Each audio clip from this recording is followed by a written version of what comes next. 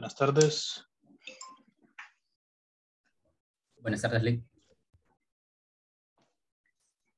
Bien, buenas, vamos a comenzar. Y bueno, quiero hacerle un breve comentario antes de iniciar la clase con respecto a la prueba del viernes.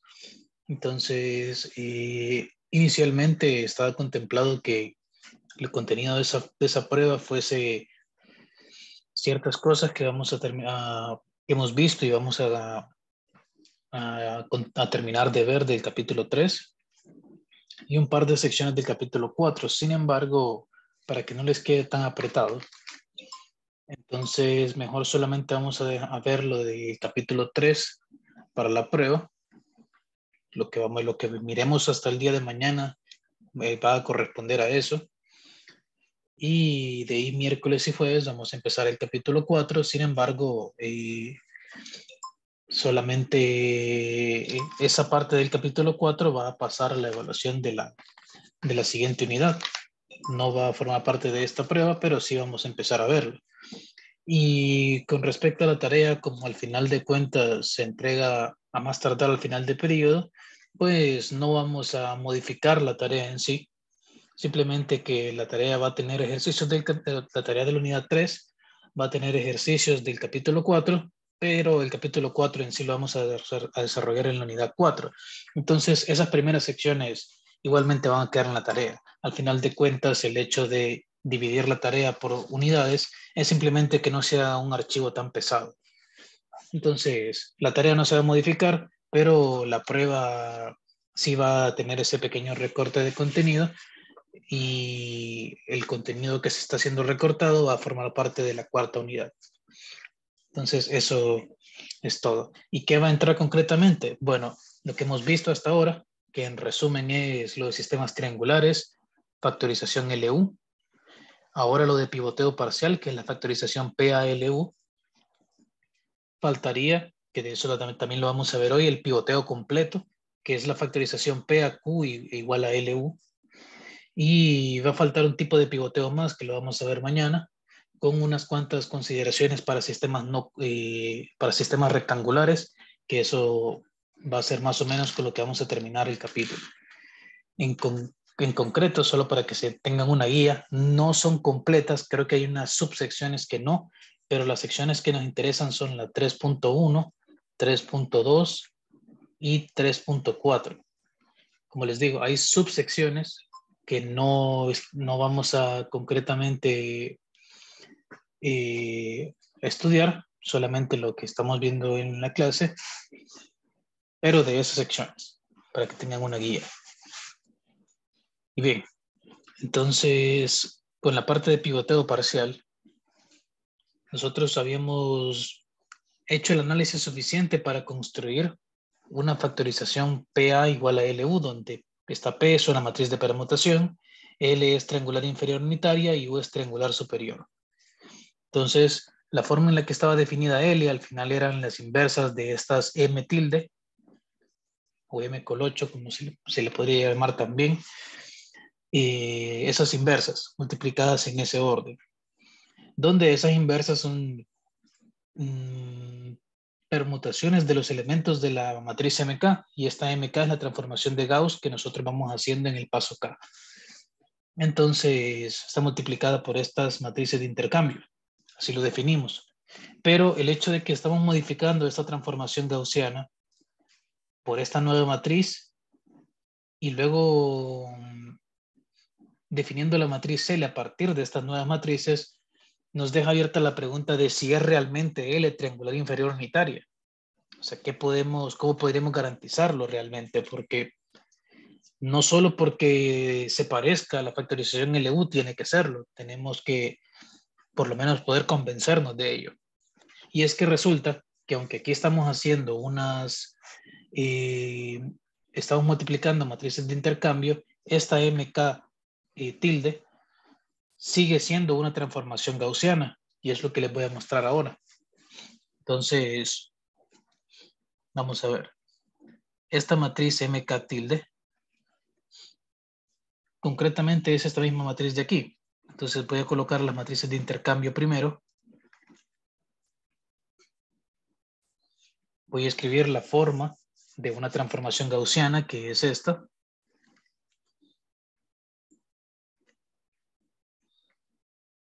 Para algún, para algún tau supra K. Y las otras matrices de intercambio.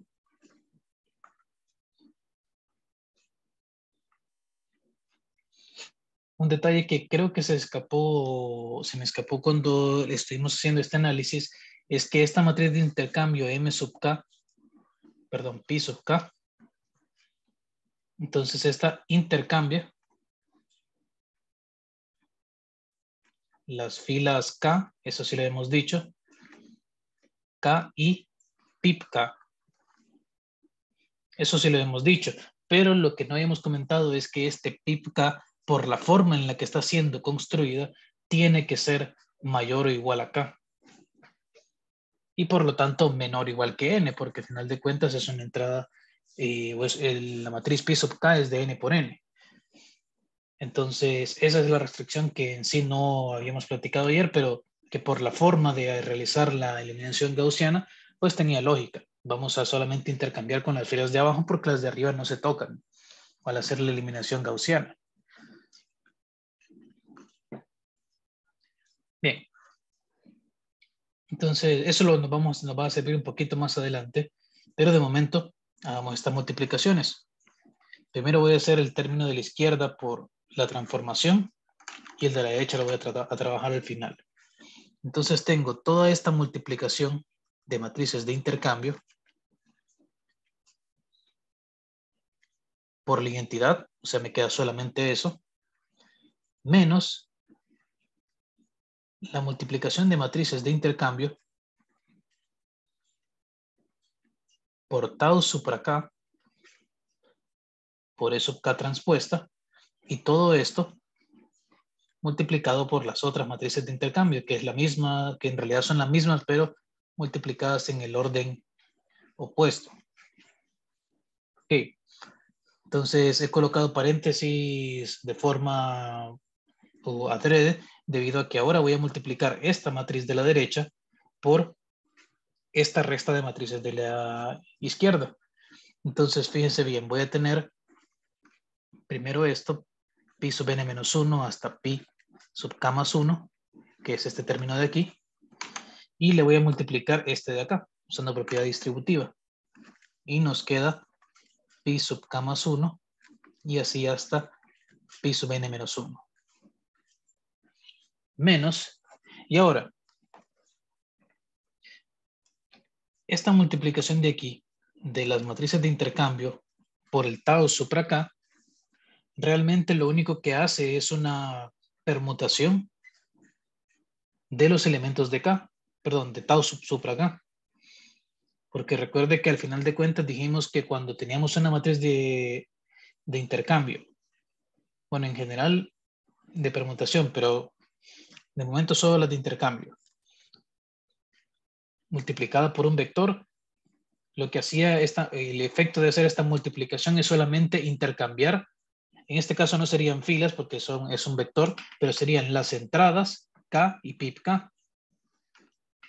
O sea que cuando yo multiplique pi sub k más 1 por el tau super acá, lo que voy a hacer es modificar o intercambiar dos entradas de posición. De ahí cuando lo multiplique por pi sub k más 2, voy a intercambiar otras dos. Y así sucesivamente. Entonces, lo único que voy a obtener al hacer toda esta multiplicación que señalé en rojo es una permutación al final de tau supra k.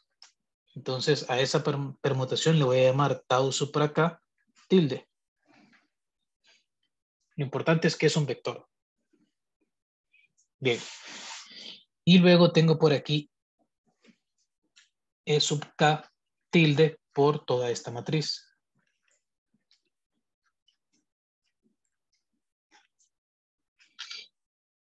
Ahora,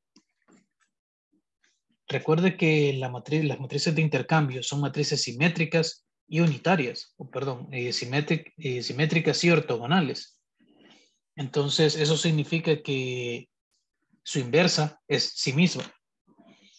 Entonces, fíjese que aquí cuando multiplico pi sub k más 1 por pi sub k más 1 me queda la identidad. De ahí quedaría en el lado izquierdo pi sub k más 2 y en el lado derecho pi sub k más 2 y se van cancelando de forma telescópica hasta la última que pi sub n menos 1 se cancela con pi sub n menos 1 y nos queda únicamente la identidad de orden n. De ahí nos queda menos tau supra k tilde y esta multiplicación de EK transpuesta por esas matrices de intercambio lo voy a escribir convenientemente así. Voy a tomarla como la transpuesta, por decirlo así, de factor común. Entonces eso lo que va a hacer es que me va a transponer todas estas, o sea, va a generar esto.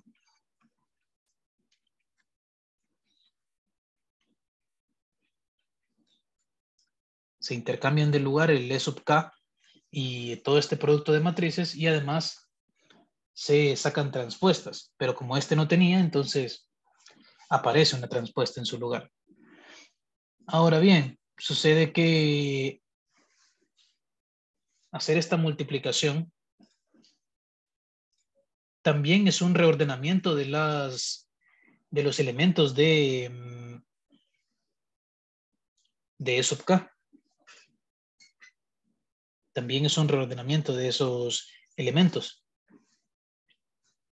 Ok, entonces técnicamente tendría que quedar como una especie de permutación de estas matrices, pero vamos a ver. Quiero ver una cosa.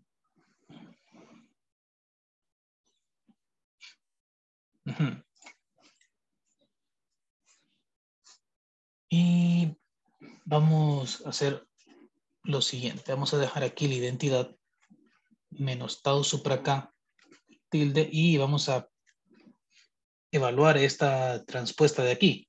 Como las matrices pi son simétricas, entonces aplicar la transpuesta aquí consiste simplemente en intercambiar el orden.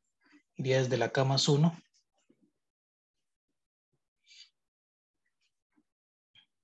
hasta A ver, pero y hay un pequeño error aquí. Porque no he sacado transpuesta, así que tienen que aparecer aquí adentro con el mismo orden de allá afuera. Entonces es desde K más 1 hasta N menos 1. Y ahora sí invierto el orden desde N menos 1 hasta pi sub K más 1.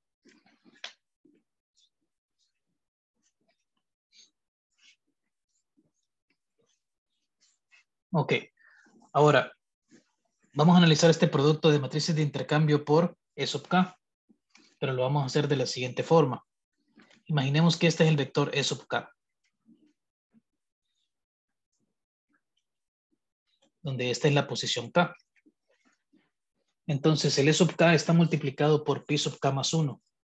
Pi sub k más 1 es lo que va a hacerle al vector E sub k es intercambiar la posición K más 1 con alguna que está por debajo. Pero ¿qué sucede? Lo que va a hacer entonces esa matriz es intercambiar este cero, que está en la posición K más 1, con algún otro cero de la posición, que estaría en la posición pi sub K más 1, pero estaría más abajo. Entonces, ¿cuál sería el efecto en realidad? Lo dejaría tal como está, porque estoy intercambiando dos posiciones que son iguales. Entonces, pi sub k más 1 multiplicado por e sub k lo deja tal como está, queda e sub k. Y si yo hago pi sub, eh, y si yo ese resultado lo multiplico por sub k más 2, va a ocurrir lo mismo. Va a tomar el 0 que probablemente, de que seguramente esté en la posición k más, 2, k más 2 y lo va a intercambiar con una que está más abajo. Pero la que de, de a partir de la k más 1 hacia abajo, todas son 0. Así que de nuevo lo que va a hacer es intercambiar un cero con otro cero. Y así sucesivamente, hasta que lleguemos a la última. Entonces, esto de aquí realmente lo único que va a estar haciendo todas estas, todas estas matrices de intercambio es intercambiando ceros de los que están aquí abajo. O sea que el efecto en realidad va a ser nulo en este, en este vector.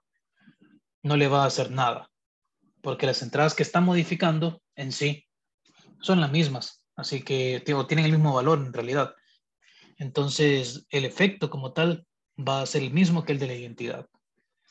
O sea que esto va a ser la identidad menos tau supra k tilde por eso k, que es la simplificación de todo esto que está entre corchetes, y el transpuesta que estaba afuera. Ok, entonces esto eh,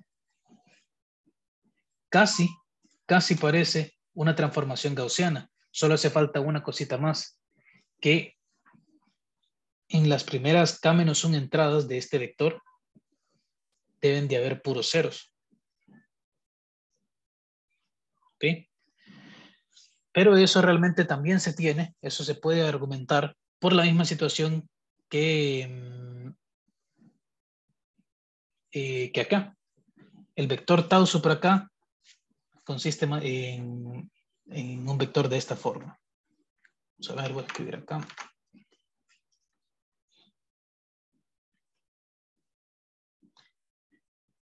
Y eh, en realidad tiene K ceros. ¿Ok? Entonces, y aquí solamente le voy a poner X porque realmente no importa el valor.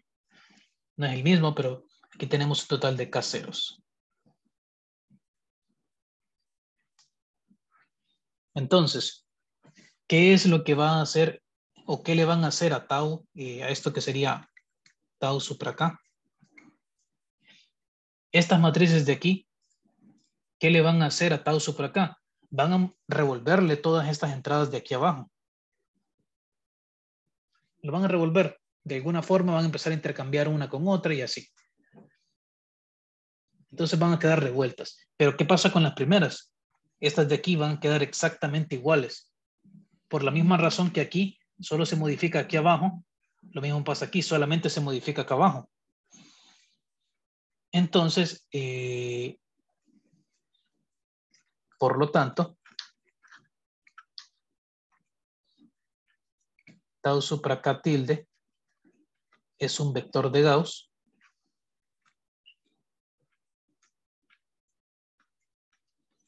y M sub K tilde es una transformación gaussiana.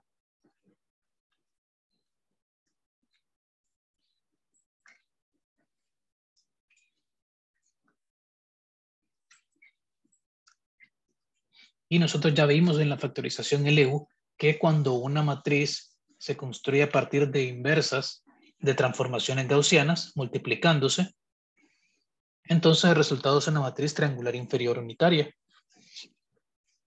Entonces la respuesta es que sí, sí es triangular inferior unitaria. Y ahora por fin vamos a ver el algoritmo final de cómo vamos a nosotros realizar la eliminación gaussiana con pivoteo parcial. Entonces, este concretamente es el algoritmo 3.4.1. ¿okay? Y eh, este algoritmo calcula la factorización PALUDA, donde P es una matriz de permutación codificada por el vector PIP, que tenemos que construirlo en, el algoritmo. L es triangular inferior unitaria, con L y J menor o igual que 1. Y U es triangular superior. Además, la forma de almacenamiento de L y U es dentro de la matriz A, o sea, que para I igual 1 hasta N, en la fila I de A y en las columnas desde la I hasta la N, se va a almacenar la fila I de U. O sea, la fila I de U en las mismas posiciones o en las mismas columnas desde la 1 hasta la N, que básicamente es lo, lo que les había comentado la última vez. Se almacena U de tal forma que U está acá arriba y L está acá abajo. Y eso es lo que está diciendo en la otra parte la matriz A en la columna J, entradas desde la I más 1 hasta la N, voy a almacenar la columna I, las filas desde la I hasta la N más 1, desde la I más 1 hasta la N, mejor dicho, de la matriz L. En otras palabras, esto de aquí. El almacenamiento es el mismo. Pero además tenemos una matriz P. Y sobre esa matriz P, de hecho, tenemos que comentar un poquito más. La matriz de permutación P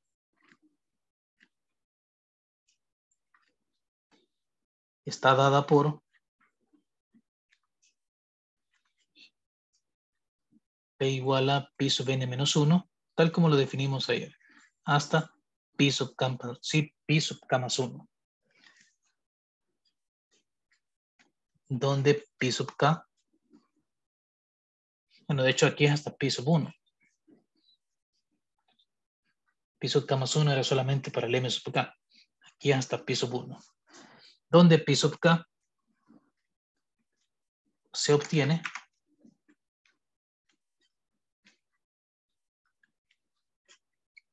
de intercambiar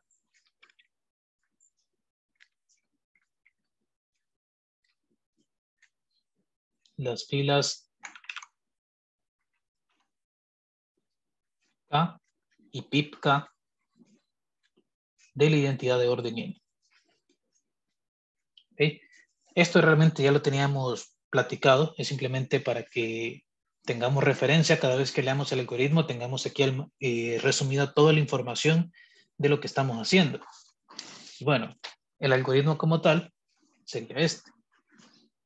Vamos a poner un ciclo for en el cual vamos a hacer correr k desde 1 hasta n menos 1. Este es el número de pasos. K representa el número de pasos en el que estamos. De ahí, lo primerito que vamos a hacer es determinar el número mu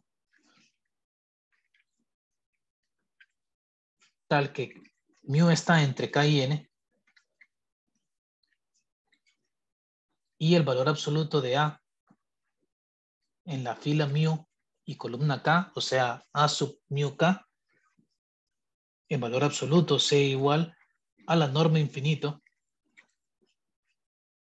del vector que consiste en las, en las en las filas K, en las filas desde la K hasta la N, en la columna K. O sea, desde la, en la columna K de la matriz A, lo que vamos a hacer es tomar únicamente como vector las entradas desde la K hasta la N y eso le vamos a tomar la norma infinito. Como es un vector, esa norma infinito en realidad lo único que estamos diciendo es que es el máximo valor absoluto de las entradas. Solo que he escrito con notación para que sea corto. Pero en esencia, en este primer paso, lo que vamos a encontrar es el máximo en valor absoluto de las entradas de la columna K, que están en las filas desde la K hasta la N. O sea, esto es simplemente resolver el problema en el cual queremos la posición en la que se encuentra el elemento más grande en valor absoluto dentro de un arreglo de números reales. Básicamente un problema de eso es que es un problema de programación. 1. Entonces, aquí se resuelve un problema como ese. Ahora, vamos, luego de tener ese número mu, vamos a guardar en pipk el valor de mu, porque en realidad lo que estamos diciendo es que en la fila mu se encuentra el pivote que realmente necesitamos, que es el elemento más grande de la columna, a partir de la diagonal principal hacia abajo. Entonces, primero almacenamos dónde estaba el pivote originalmente. Eso nos sirve para construir la matriz identidad, perdón, la, matriz de permutación. Y ahora que ya tenemos, eh, ya tenemos la información de dónde estaba o de cómo construirla, vamos a intercambiar ahora sí las filas K y la fila mu. ¿Ok? Hacemos ese intercambio y el resto realmente consiste en hacer la eliminación gaussiana que ya conocemos. Solo que vamos a agregarle una condición aquí, porque así como está definido, aún es posible que el AK, K, luego de hacer el intercambio, o sea, el pivote, luego de hacer el intercambio, sea cero. Entonces, para controlar y que no nos dé un error, vamos a, a asegurarnos de que lo que vamos a trabajar es de tal forma de que el K, K, el pivote sea distinto de cero. Y aquí hacemos la eliminación gaussiana como la aprendimos a hacer para la factorización LU. Tomamos un vector ρ que va desde K más 1 hasta N. Luego A sub ρ, K, es decir, en la columna K, y las filas desde la K más 1 hasta la N, lo que vamos a hacer es simplemente tomar esas mismas entradas y dividirlas entre AK, K porque esto lo que estamos haciendo es colocando los multiplicadores. Estamos construyendo la columna K o la parte de la matriz K, perdón, de la matriz A que va a quedar aquí, donde esta es la columna K. Y el resto es modificar esta parte de aquí.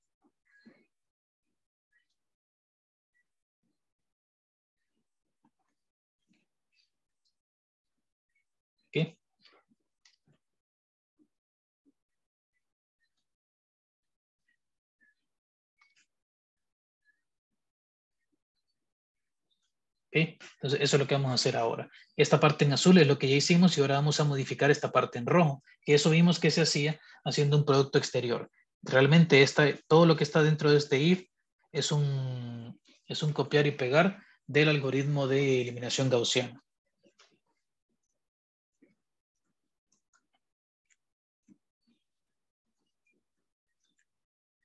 Note que estamos utilizando el enfoque de producto exterior, que es con el que nos quedamos finalmente. Y luego de esto termina el, el, el if y termina el ciclo for. Entonces, ¿qué pasaría si... ¿Qué pasaría si nosotros, si el, el pivote aún sigue siendo cero? Pues básicamente ahí no se generaría una matriz M sub K. Se nos quedaría que sería igual a la identidad porque nuestro tau tendría puramente ceros, porque, vamos a ver, el hecho de que el, el máximo de las entradas desde la, en la matriz A, columna K, fila K aquí. Entonces, si el máximo de los números que están de aquí a aquí es cero, significa que todos son ceros, valor absoluto. Entonces, realmente aquí no hay que hacer ninguna eliminación gaussiana, simplemente se trabaja con lo demás se pasa a la, eh, a la siguiente. Aquí van a quedar varios ceros y el algoritmo simplemente va a pasar a lo siguiente. Y ya. Entonces, por eso, si esto no se cumple, realmente no hacemos nada. Pasamos simplemente al siguiente término. ¿Ok? Eh, bueno, esto realmente describe el algoritmo como tal. Realmente lo único nuevo es esta, son estos primeros tres pasos, porque ahí tenemos que seleccionar con qué vamos a hacer la eliminación gaussiana. Lo que está dentro del if es lo que ya hemos visto, así que realmente no hay mucho más que comentar. Entonces veamos unas cuantas observaciones acerca del algoritmo. Notemos que el algoritmo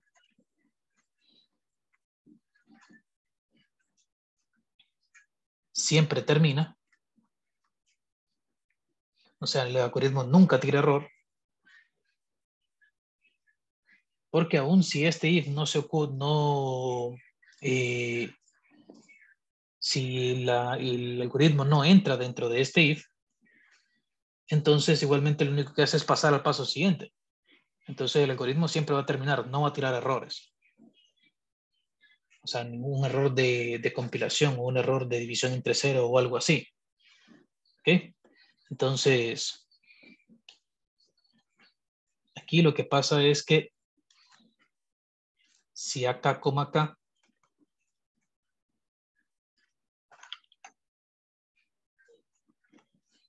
es, es el es igual a cero, entonces la matriz M sub K y la matriz de permutación P sub K resultan ser ambas iguales a la identidad, porque realmente no se le hizo nada técnicamente, entonces los casos que ocurren así, simplemente se salta, se salta la fila.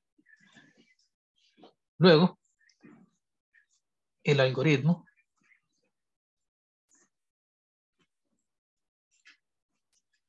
hace alrededor de n cuadrado, o de n cuadrado, comparaciones. Esto se hace en el primer paso porque aquí para determinar cuál es el máximo hay que comparar eh, prácticamente el elemento... Mm, bueno, al momento de resolver el problema de encontrar el máximo en una lista de valores, prácticamente se recorre todo el arreglo y se hacen alrededor de n comparaciones. si el arreglo tiene longitud n. Entonces, lo que pasa aquí es que como se realiza una cantidad n de veces o n menos 1 de veces, entonces al hacer toda la suma de comparaciones anda en el orden de O de n cuadrado. ¿Ok? Entonces, en este punto sí es importante tener en cuenta cuántas comparaciones estamos haciendo porque eso puede ralentizar la ejecución del algoritmo. ¿Ok? Entonces, se realiza esa cantidad de comparaciones para encontrar mu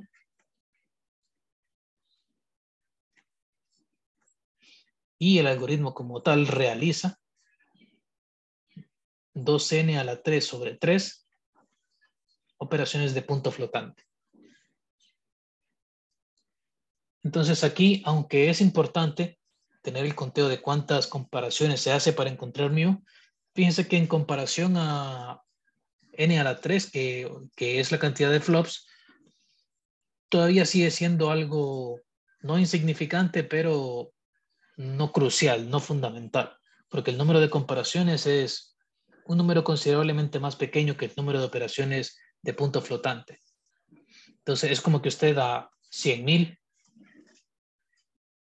le sumara, por ejemplo, o bueno, digamos a un millón, usted le sumara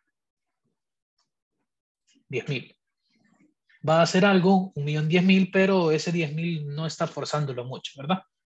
O sea, sí es algo considerable, pero no es que va a hacerlo de tal forma de que sea increíblemente notorio. Esa es más o menos la comparación del ODN cuadrado con el ODN a la 3. Comparar un millón con diez mil. Entonces, bueno, es importante saberlo. Ok. Y vamos a ver.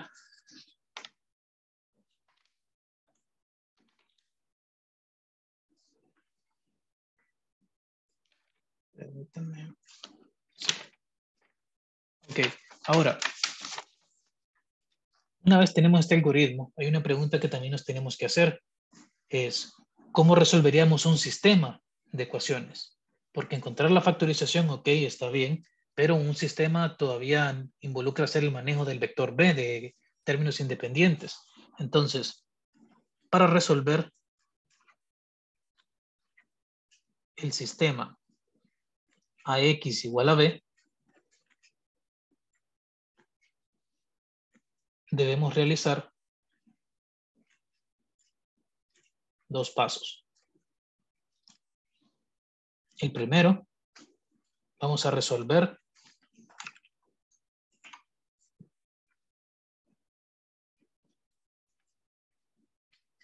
Vamos a resolver LY igual a P por B. Y segundo, vamos a resolver UX igual a Y. Ahora, ¿por qué LY igual a P por B? Bueno, resulta que mm, para pasar de AX igual a B a la factorización LU, nosotros primero necesitamos multiplicar por la matriz P en ambos lados para que, nos para que tengamos esto. La P por B. Y a este P por A sí le podemos calcular la factorización LU porque es lo que estuvimos haciendo ahorita. Y nos va a quedar L por U por X igual a P por B. Entonces primero hacemos LY, o sea, L por todo esto, igual a P por B, que es esto de aquí. Y luego resolvemos UX igual a Y. Y cómo, si se fijan, cuando uno obtiene el algoritmo eh, o el resultado de esta factorización, la matriz L y U vienen almacenadas en A. Entonces la pregunta es, ¿y, cómo, y dónde viene almacenado P? La respuesta es, y aquí lo dice, está codificada por pip. pip de 1 hasta n menos 1. Entonces ahí está codificada la matriz P, porque realmente nosotros ya vimos cómo, eh, cómo aplicar esta matriz a un vector sabiendo cuáles son los pip. Eso nosotros ya lo vimos. Lo único que tenemos que hacer es un ciclo for en el que vayan intercambiando una a una las entradas. del vector al que se le esté aplicando la matriz P. Entonces realmente no construimos, no tenemos la matriz P, pero sí sabemos cómo aplicarla a un vector. Y eso lo vimos al principio de la, sección. Entonces, para a forma de recordatorio,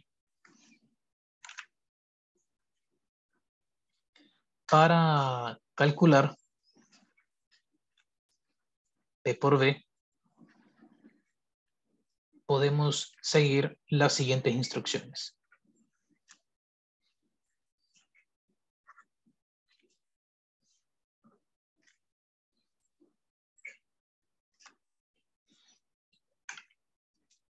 Entonces nosotros podríamos simplemente recorrer un ciclo for desde k igual 1 hasta n menos 1 y la entrada en la posición k del vector b se va a intercambiar con la entrada en la posición pip k. Y eso es todo. Cuando se hagan esos, esos n-1 intercambios, ya está multiplicado la matriz B por el vector B. Y de hecho, la ventaja de hacerlo así es que no, no hacemos ninguna operación de punto flotante, hacemos cero. Pero obviamente siempre se hace trabajo computacional al hacer esos intercambios. Pero bueno, eh, pero operaciones de punto flotante no hacemos. Eso lo que nos garantiza es exactitud. No hay errores de redondeo ni cosas por el estilo.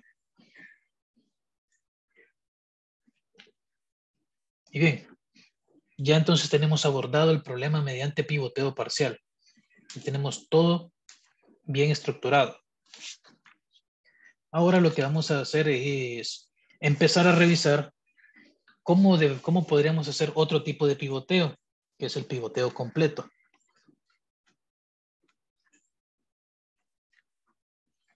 El pivoteo completo es simplemente una forma de llamar a la factorización PAQ LU.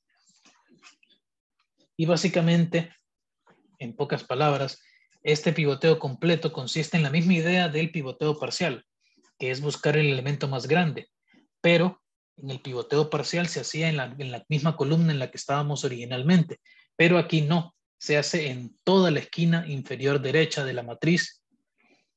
Entonces buscamos el elemento más grande en toda esa parte inferior de la matriz. Y Obviamente, si no está en la misma fila, vamos a tener que hacer un intercambio, perdón, si no está en la misma columna, vamos a tener que hacer intercambios de fila y de columna. ¿Y cómo intercambiábamos filas? Multiplicando por matrices de permutación a la izquierda. ¿Cómo intercambiábamos columnas? Multiplicando matrices de permutación por la derecha de A. De ahí viene el PAQ. Entonces, este P son por los intercambios de fila y este Q son por los intercambios de columna. Ahora bien, entonces Vamos a escribirlo aquí. Otra estrategia de pivoteo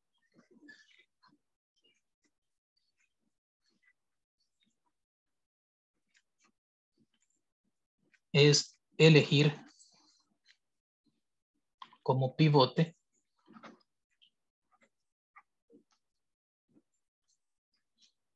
al término más grande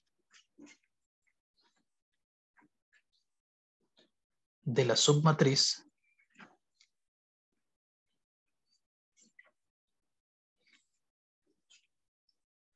A sub K desde la fila K hasta la N, columnas desde la K hasta la N, y utilizarlo como pivote.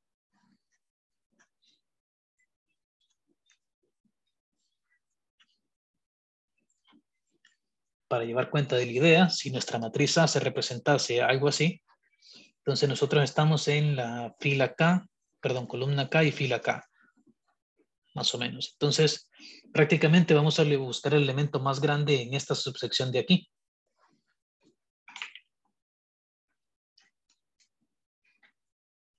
¿Ok? Entonces, si el elemento está en esta posición, lo que vamos a hacer es intercambiar, vamos a ponerle aquí mm, lambda aquí y mu acá. Entonces vamos a intercambiar la columna K con la lambda y la fila K con la mu. Eso es lo que vamos a hacer. Así que para hacer el intercambio de la fila K con la mu, por eso hay una matriz P, y para hacer el intercambio entre la columna K y la lambda, por eso hay esta matriz Q. Entonces vamos a ver. Eh, construiremos así.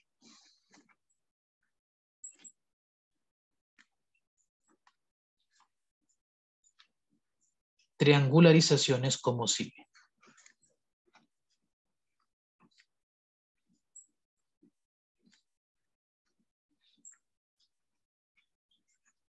Entonces, las triangularizaciones, es decir, el proceso de hacer triangular superior o triangular inferior una matriz, en este caso de pivoteo completo, se va a ver así.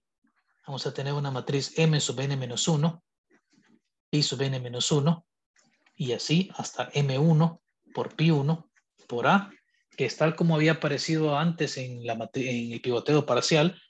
Ahora se añaden estas matrices gamma 1, gamma 2, hasta gamma n-1 igual a u. Y a partir de ahí vamos a generar nuestra factorización eh, nuestra factorización PA, eh, PAQ transpuesta por L. Ok, entonces vamos a ver.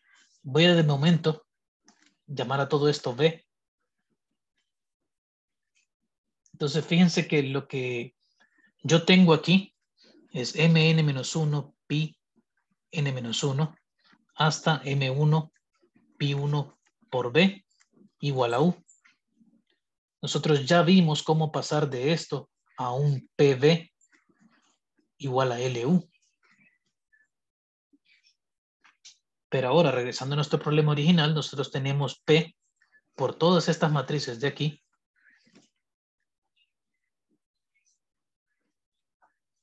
Y, ah, por cierto, faltó el A.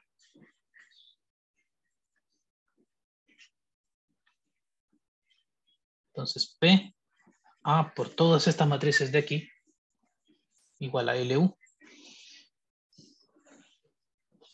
Ahora bien, todas estas matrices de gamma que tenemos aquí realmente son matrices de intercambio, porque lo que hacemos, la forma en la que se generan es cambiando esta mm, columna lambda con la K.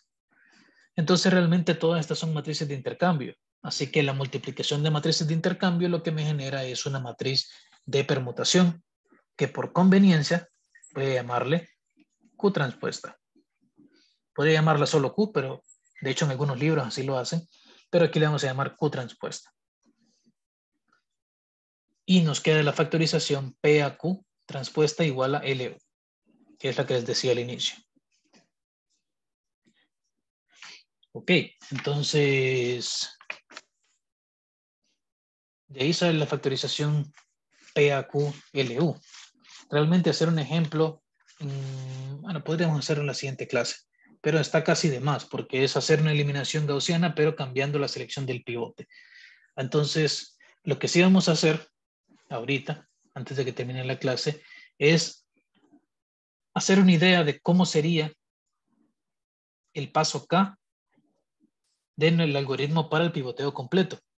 Vamos a hacer solamente las ideas, la estructura, para que así eh, mañana podamos ver el algoritmo concretamente. Entonces, en el inicio del paso K, ¿qué vamos a tener?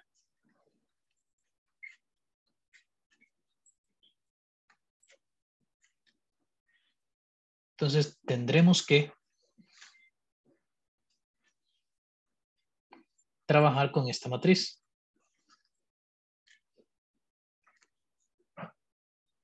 Esa matriz la vamos a llamar A supra K menos 1 y va a ser igual a mk-1, pi k-1,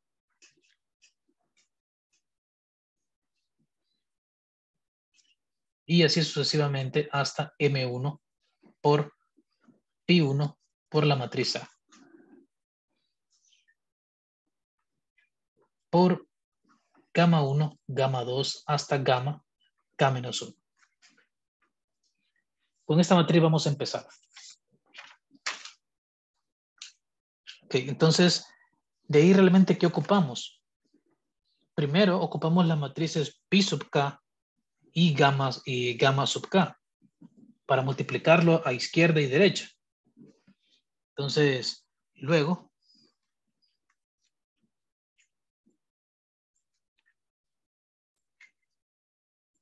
debemos encontrar matrices de intercambio.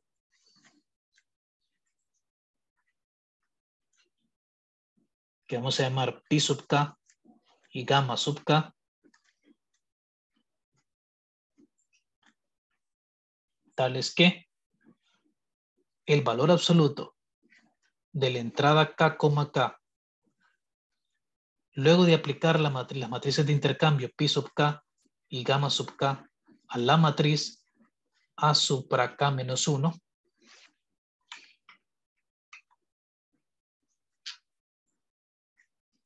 que esta entrada k, k, que después de aplicar el intercambio de filas y de columnas, sea igual al máximo para i y j menores que n, pero mayores o iguales que k, del valor absoluto de la entrada IJ de esto.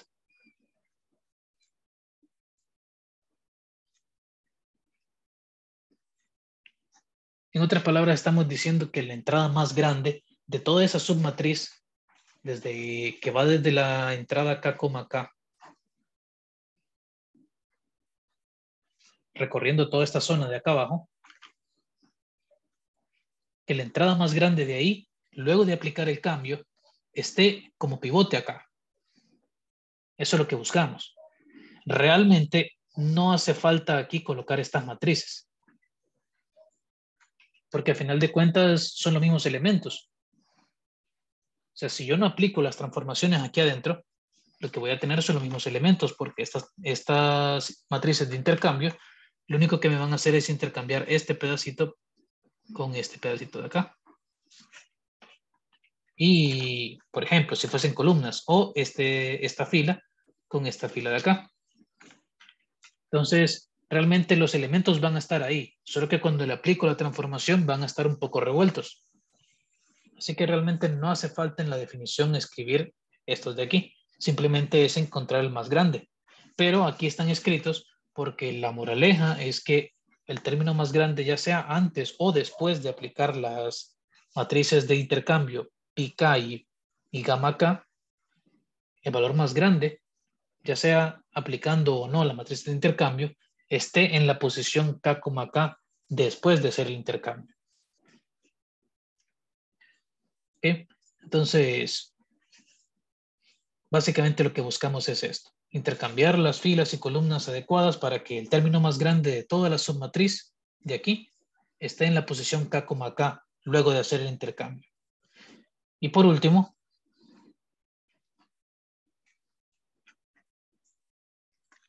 realizamos un paso de eliminación gaussiana.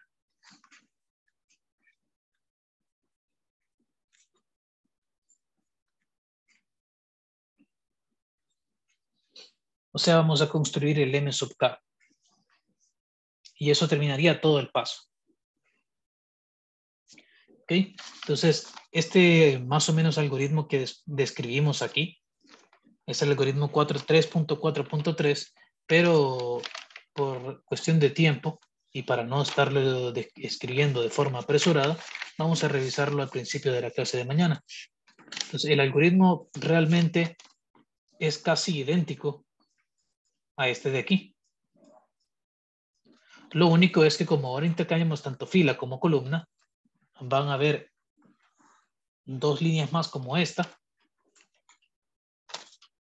dos líneas más como esta, en las que se guarde la columna que se está intercambiando en, una especie de pip y se intercambien dos columnas. O que eh, va a haber un paso parecido a este, pero para las columnas. Y luego, este primer paso va a también modificarse un poco porque no solamente buscamos mu, sino también una, un término lambda. Pero de ahí después de ese par de modificaciones, esta parte sigue siendo igual.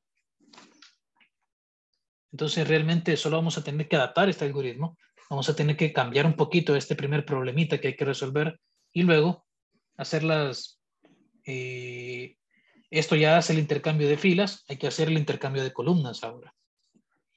Entonces realmente no es muy complicado. Si comprende este algoritmo, el de eliminación, el de pivoteo completo es igual de sencillo.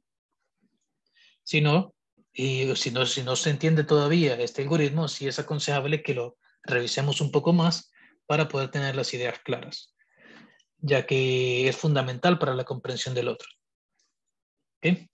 Entonces, por hoy nos vamos a quedar hasta acá. No sé si hay alguna pregunta o duda que quieran hacer.